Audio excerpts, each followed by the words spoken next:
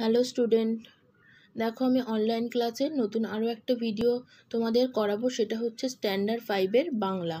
তো স্ট্যান্ডার্ড ফাইভকে আমি আগের দিন এই যে রাজার অসুখ চ্যাপ্টারটা আমি ধরেছিলাম। আজকে আমি করাবো রাজার অসুখের যে আরও দুটো পাতা বাকি ছিল, সেই দুটো পাতা আজকে আমি পড়িয়ে দেব। তাহলে চলো পড়ানো শুরু করি। তাহলে আমাদের আগে হয়েছিল কি, মন্ত্রীমশাই মানে আগের পেজ পর্যন্ত যেটা পড়িয়েছিলাম সেটা হচ্ছে মন্ত্রীমশাই কিন্তু রাজার জন্য একজন হাসি খুশি লোক খুঁজতে বেরিয়েছিল। তো তিনি কিন্তু চারিদিকে খুঁজছিলেন। তো তারপরে দেখো কি বলছে। তার উৎসাহ প্রায় ফুরিয়ে এসেছে। এমন সময় হঠাৎ এক গাছতলায় তিনি একটা পাগলা গোছের বুড়ো লোকের দেখা পেলেন। মানে মন্ত্রীমশাই মানুষ, সেই ধরনের মানুষ খুঁজতে খুঁজতে কী হয়েছিল? উৎসাহ তার ফুরিয়ে গিয়েছিল। ঠিক সেই সময় সে পাগলা গোছের একটা মানুষকে দেখতে পেল। লোকটার মাথায় চুল, মুখ ভরা দাড়ি, সমস্ত শরীর যেন শুকিয়ে দাড়ি হয়ে গিয়েছে। মন্ত্রী বললেন, তুমি এত হাসছো কেন? সে বলল, হাসবো না।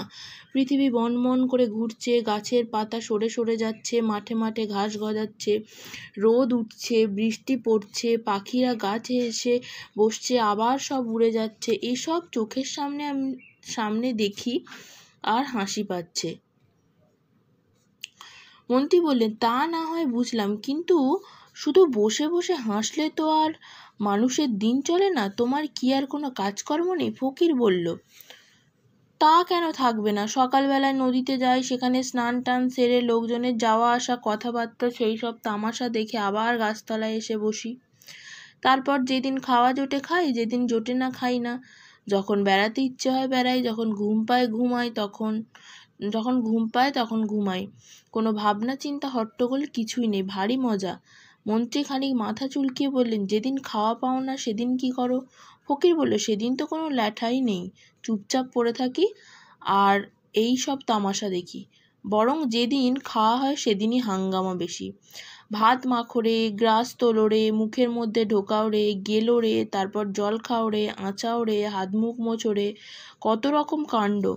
মন্ত্রী দেখলেন, এতদিনে ঠিক মতন লোক পাওয়া গেছে। তিনি বললেন, তোমার গায়ের এক আধখানা জামা দিতে পারো? তার জন্য তুমি যত ইচ্ছে দাম নাও। আমরা দিতে প্রস্তুত আছি। শুনে লোকটা হো হো করে হাসতে লাগল। বলল, আমার আবার জামা? এই সেদিন একটা লোক একটি শাল দিয়েছিল তাও তো ছাই ভিকারিকে দিয়ে ফেললাম। জামা জামাটা আমার ধারি ধারি না কোনো দিন মন্ত্রী বললেন, তাহলে তো মহা মুশকিল। যদি বা একটা লোক পাওয়া গেল, তার আবার জামা নেই? আচ্ছা তোমার বিছানার তোষকখানা দিতে পারো? কত দাম চাও? আমরা টাকা ঢেলে ঢেলে দিচ্ছি।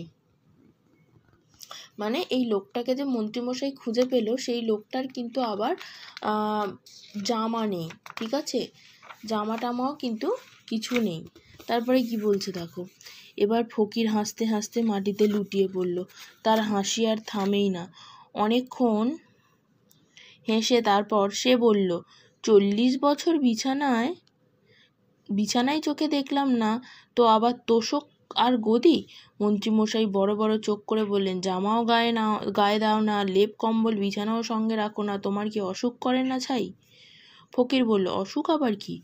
অসুখ টসুখ ওসব আমি বিশ্বাস করি না। যারা কেবল অসুখ অসুখ ভাবে, তাদেরই খালি অসুখ করে। এই বলে ফকির আবার গাছে হেলান দিয়ে ঠ্যাং মেলে খুব হাসতে লাগল। মন্ত্রীমশাই হতাশ হয়ে বাড়ি ফিরলেন। রাজার কাছে খবর গেল, রাজা মন্ত্রীকে ডেকে পাঠালেন। তার কাছে সব কথা শুনলেন, শুনে মন্ত্রীমশাই বিদায় দিলেন। মন্ত্রীমশাইকে বিদায় দিলেন। আবার সবাই ভাবতে বসল, এখন উপায় কি হবে? চিকিৎসাও হলো না।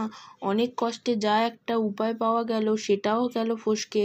সবাই বসে বসে এ ওর মুখ চায় দীর্ঘশ্বাস ফেলে আর বলে না আর তো বাঁচবার উপায় দেখছি না। ওদিকে রাজামশাই ভাবতে বসেছেন, আমি থাকি রাজার হালে। ভালো ভালো জিনিস খাই, কোনো কিছুর অভাব নেই, লোকেরা সব সময় তোয়াজ করছেই আমা, আমার হলো অসুখ। আর ওই হতভাগা ফকির যার চাল চুলো কিছু নেই, জামা নেই, কম্বল নেই, গাছতলায় পড়ে থাকে, যা পায় তাই খায়, সে কি না বলে অসুখের অসুখ টসুখ কিছুই মানে না। সে ফকির হয়ে অসুখ উড়িয়ে দিতে পারল, আর আমি রাজা হয়ে পারব না। তারপর দিনই রাজা ঘুম থেকে উঠে পাত্র, মিত্র সবাইকে ডেকে পাঠালেন। যা হতভাগা মুখগুলো, সব সভায় বসকে যা। তোরা কেউ কিছু করতে পারলি না? এখন এই দেখ, আমার অসুখ আমি নিজেই সারিয়ে দিয়েছি। আজ থেকে আবার সবাই গিয়ে বসবো, আর যে টু শব্দ করবে তার মাথা উড়িয়ে দেব। দেখো তাহলে, রাজা ভাবলো যে ওই ফকির, ফকিরের কিচ্ছু নেই, তাও কিন্তু তার কাছে অসুখ টসুখ কিছু সে মনে করে না। কিন্তু রাজাকে যে সবাই তোয়াজ করে চলে, যখন যেটা ইচ্ছে হচ্ছে খাচ্ছে তাকে সবাই মেনে চলছে, তাও তার অসুখ কেন? তো দেখো, তাহলে এই গল্পটা থেকে কি বোঝা গেল? যে মানে রাজার যে অসুখটা হয়েছিল, সেটা কিন্তু একটা কল্পিত অসুখ। মানে সেই অসুখটাকে তিনি কল্পনা করেছিলেন। সত্যি সত্যি কিন্তু তার কোনো অসুখ অসুখ হয়নি। ঠিক আছে? রাজার যে অসুখটা হয়েছিল, সেটা কিন্তু একটা কল্পনা করা অসুখ বা কল্পিত কল্পিত অসুখকে ঘিরেই কিন্তু গল্পটা।